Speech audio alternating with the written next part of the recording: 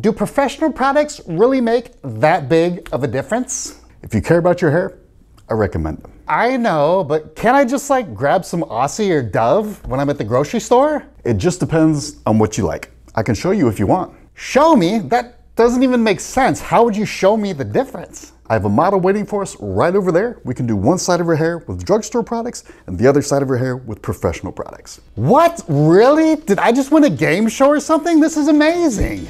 All right, we're gonna be using OGX as our drugstore brand today. It's one of the most popular drugstore brands. You'll see it suggested all over Instagram and TikTok. Obviously, we're going to be comparing shampoos first here. The drugstore OGX is cleverly titled Argan Oil of Morocco. It's going up against our professional shampoo Redken Volume Injection. If you could just feel these in your hands, the first thing that you notice is the difference in the feel of the hair. With the Redken Professional Shampoo, you can feel the oily slipperiness of the hair going away and it turns into more of a clean texture where you can feel it's actually clean. A good shampoo will always get rid of that slippery, waxy feeling that you have in your hair. If it doesn't, your hair is not getting clean. After the shampoo, we use the matching conditioners and let them sit for a couple minutes while I do a quick scalp massage. That's the best part of the whole experience. And then we rinse it out, put her hair up in a turban, and went back to my station. Okay, so did the drugstore shampoo hold up okay here? You can't fake cleansing ingredients, but I feel like in a second when we start styling, it's gonna be much closer. So let's start from zero. It better be closer because I love my drugstore dupes. Explain what's going on next. All right, we're back at my station. I'm gonna part her hair down the middle so we can get a nice clean boundary so we can see exactly what the difference is between the OGX side and the professional side. And the first thing you should always do every time you finish washing your hair, you get out of the shower, is towel dry your hair and use leave-in conditioner. That's your base. If you don't use it, you're gonna have dry hair because all the moisture you just put in your hair with that conditioner is gonna leak right out. On the professional side, we're using Pureology Color Fanatic. And then OGX didn't actually have a leave-in conditioner. They have leave-in treatments, but those are totally different and won't do the job. Now, if I leave the OGX side without a leave-in conditioner, this wouldn't even be a fair test. The OGX side will come out so terribly, it's not even worth doing the video. So I'm gonna give it a little bit of help by using a Tresemme leave-in conditioner to fill in the gap. Our next product is going to be a blow dry cream with built-in heat protection. Anytime you blow dry your hair, you must be using this. Blow drying this without heat protectant, not a good idea. And just as importantly, this will improve the texture of your hair, making it soft and shiny. A lot of people who complain about frizzy blow dries are skipping this step. Do not skip it. On the pro side, we have the Redken Big Blowout. This is my go-to for our model's hair type, medium hair. And then on the drugstore side, we have the OGX Silk Blowout, which I accidentally sprayed on the side of the poor model's face Sorry about that. It's also important that you don't blindly copy the products that I'm using here. You need to match the products to your hair type, and you probably don't have the exact same hair type as this model. So if you wanna see what's best for your hair, take my hair type quiz and my recommended product list to find out exactly what you need.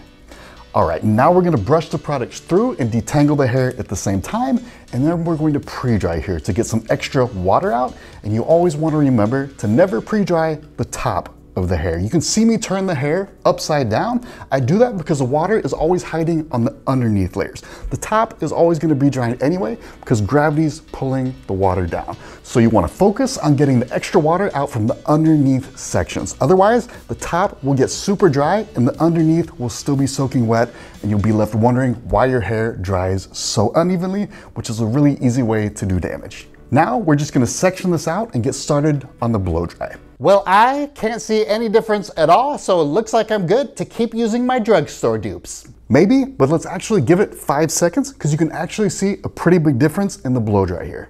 Okay, well, what do you see? You can see all these little flyaways on the drugstore side, and if you were only used to using drugstore brands, you would think this is totally normal, but it's actually not.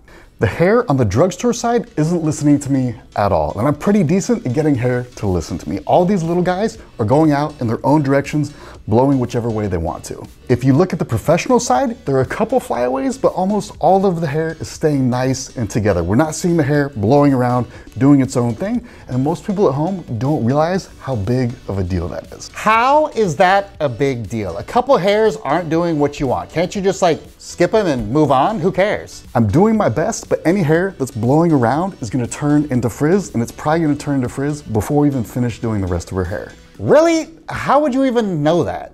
You want the style to start as smooth as possible. It's almost like a scale. The smoother your style starts out, the longer it will last before it turns frizzy and gross. You can actually see when I turn her around, it's already frizzed out on the drugstore side, where the professional product side is still nice and smooth. It's a pretty big difference. And all those little flyaways turn straight into frizz. A lot of people wake up the next day wondering why their hair is a frizzy mess and feels dirty already. It's because their products are letting them down.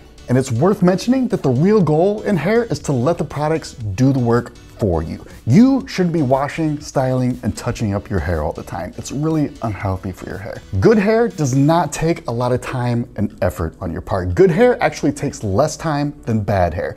All good hair requires is breaks between washes and styling. When you get the products right, you really don't have to do that much with your hair because it's on autopilot. Professional shampoo will keep your hair clean for days, and professional styling products will keep your style looking great for days. But when you use cheap products, they don't get the job done. So you're stuck spending all this time on your hair only to have it looking even worse. I don't get it. Why can't you just like use a little bit more of the drugstore product to get the same result?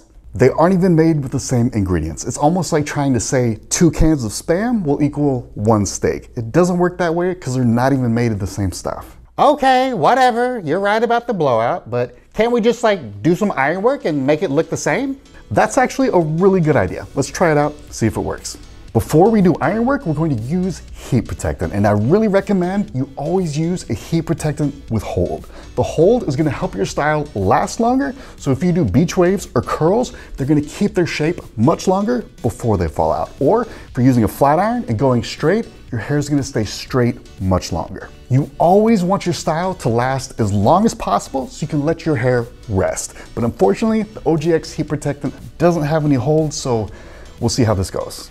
When you do these waves, you want to do them in sections of about two or three inches high. If you get much taller than that, or if you're just grabbing random sections back there, it's easy to get a little lost and have inconsistency in your sections, which makes them fall out. You'll see a lot of people doing rolling up and down with curling irons, and that works on Instagram and hair models with extensions, but in the real world, this is really the best technique, doing it upside down because your waves end up lasting way longer and looking way better on day two, three, four, or however long you can go. So did the ironwork seal up the frizzies and make it all look the same? You tell me, can you see a difference on the frizz on either side? Yeah, there's actually a whole lot more frizz on the OGX side. It didn't work. And that's when we just finished, when it looks its absolute best. For the rest of the day, it's gonna continue to get crazier and frizzier throughout the day. Ironwork was a good call though. It was worth a shot. It's okay. You don't have to try and make me feel better, but it looks like the curls are falling out on the OGX side too, right? Exactly. The drugstore heat protectant didn't have any hold in it, so they're falling out right away. A lot of people have this problem, and the key is to always use a heat protectant with hold. Hairspray can only do so much. You really want to use a heat protectant to get that hold. All right, so we have one final trick left in our pocket to try and even things back out, and that is hair oil. We're gonna see now if the OGX hair oil can smooth out a little bit of those frizzies, but first, we're gonna use the professional oil, which is Olaplex 7. I'm gonna apply it to where ends, ends, ends. That's where 90% of the oil should go because ends will drink it back up. And only when there's a tiny bit left, when you run it over your mids, you need to be really careful though because it's really easy to use way too much oil on your mids. And now for the OGX oil, this is when things really start to take a dark turn. I was able to keep things pretty close the whole time for this test, but when I touched her hair with the OGX oil, you can see my hands even like they paused here. I was like, what just happened? How do I put these things back together? It makes no sense. It was kind of like a Humpty Dumpty situation where the curls weren't holding, the curls were falling out, the oil wasn't getting rid of the frizz.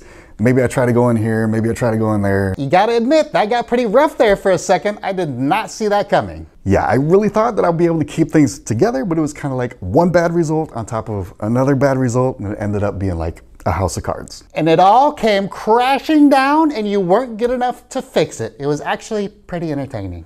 Well, I'm glad that you were entertained. Are you happy now that you've been able to see the difference? Well, thank you very much for putting on this whole show for me, but there is one thing. I use Pantene, not OGX. Can you show me what Pantene looks like?